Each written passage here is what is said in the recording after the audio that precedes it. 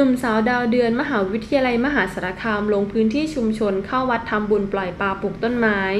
มหาวิทยาลัยมหาสารคามจัดกิจกรรมเชิงสร้างสรรค์ น้องใหม่ใส่ใจชุมชน ด้วยลงพื้นที่วัดป่าดอนหนาตำบลท่าขอนยางอำเภอกันทรวิชัยจังหวัดมหาสารคาม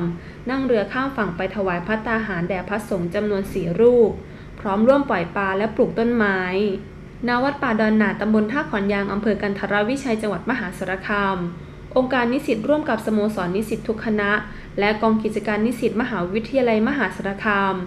นำนิสิตผู้เข้าประกวดดาวเดือนมหาวิทยาลัยมหาสารคาม ลงพื้นที่ชุมชนทำกิจกรรมสาธารณประโยชน์แก่สังคม ภายใต้โครงการ f e s h i Day and f e s h i Night 2016 โดยผู้เข้าประกวดดาวเดือนจาก 18 คณะ 2 วิทยาลัย รวม 40 คน ผู้เข้าประกวดเดือนเป็นนิสิตชายนุ่งสโลง ผู้เข้าประกวดดาวเป็นนิสิตหญิงนุ่งผ้าถุง นั่งเรือข้ามฝั่งไปถวายพระตาหารพระสงฆ์สี่รูป รับฟังธรรมจากพระคุณเจ้า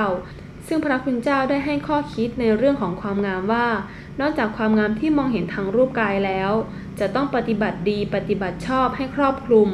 ทั้งกายวาจาใจด้วย จึงจะเรียกว่าเป็นความงามที่แท้จริง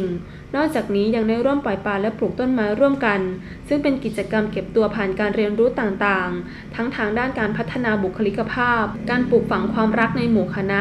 และการบำเพ็ญประโยชน์ต่อสาธารณะร่วมกัน ทั้งนี้จะมีการจัดประกวดดาวเดือน f e s h i Day and f e s h i Night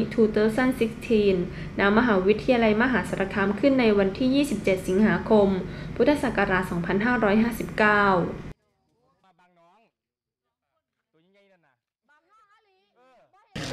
ค่ะ สวัสดีค่ะ G16 ค่ะ ไมค์ค่ะ นางสาวรัตดาเจริญทรัพย์ค่ะ คณะสาธารณสุขศาสตร์ค่ะ สวัสดีค่ะ เมษาค่ะ G13 ค่ะ คณะพยาบาลศาสตร์ค่ะ อ่าทีละคนค่ะ วันนี้มาทำกิจกรรมอะไรที่วัดป่าวันนี้กิจกรรมแรกก็คือถวายพัตตาหารเช้าค่ะ ได้ร่วมทำบุญกับเพื่อนๆพี่ๆค่ะ ก็รู้สึกดีใจค่ะ ที่ได้มาทำบุญร่วมกันค่ะค่ะทำอะไรอีกคะจากนั้นแล้วก็กิจกรรมต่อไปก็เป็นปล่อยปลาค่ะ และแล้วก็ปลูกต้นไม้ค่ะอันดับสุดท้ายค่ะ รู้สึกยังไงบ้างที่ได้มาร่วมกิจกรรมในวันนี้ ดีใจมากเลยค่ะ ที่ได้มาร่วมทำกิจกรรมของทางมหาวิทยาลัย แล้วก็ได้พบเพื่อนๆใหม่มีประสบการณ์ใหม่ค่ะ แล้วก็ดีใจที่ได้มาทำกิจกรรมที่นี่ค่ะ เป็นไงบ้างคะความรู้สึกก็รู้สึกดีใจค่ะ แล้วก็ที่ดีใจที่ได้มาทำกิจกรรมร่วมกับเพื่อนๆค่ะ แล้วก็การปล่อยปลาก็ให้ชีวิตชีวิตอีกชีวิตหนึ่งค่ะ แล้วก็ปลูกต้นไม้ลดภาวะโลกร้อนค่ะ